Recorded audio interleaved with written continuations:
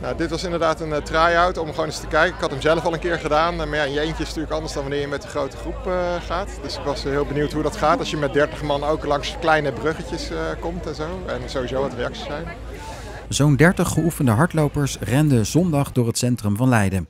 In bijna twee uur tijd ging het parcours over 100 bruggen. Organisator Jeroen Maters wilde testen of een 100 bruggenloop mogelijk is in de sleutelstad. Hij kijkt tevreden terug. Ik vond het fantastisch en uh, volgens mij uh, hebben de deelnemers ook, dat is natuurlijk het belangrijkste, ook genoten van uh, ja, rennen over 100 bruggetjes langs de mooiste grachten, de mooiste singles. dus ik ben gelukkig. Hoe heb je de route bepaald?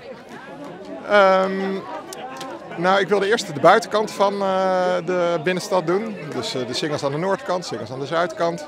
En dan het tweede deel echt de binnenstad in, tot en met het hart van de binnenstad, Academiewijk. En op het eind de Havenwijk, dus uh, daar bij de meelfabriek en de haven. Er zijn de meeste bruggetjes te vinden, dus het mooiste bewaren voor het laatst. Heb je ze geteld?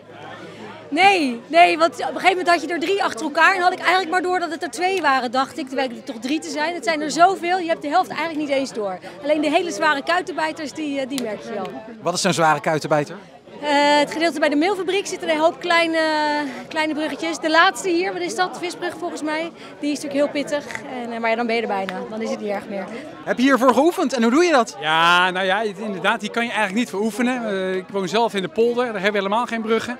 Dus dit is echt een stukje karakter wat je mee moet nemen.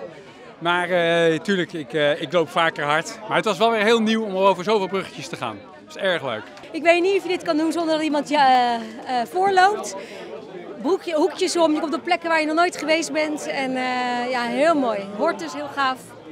Ja. Enthousiaste reacties dus. Maar betekent dit nou dat Leiden er vanaf volgend jaar een hardloop-evenement bij heeft?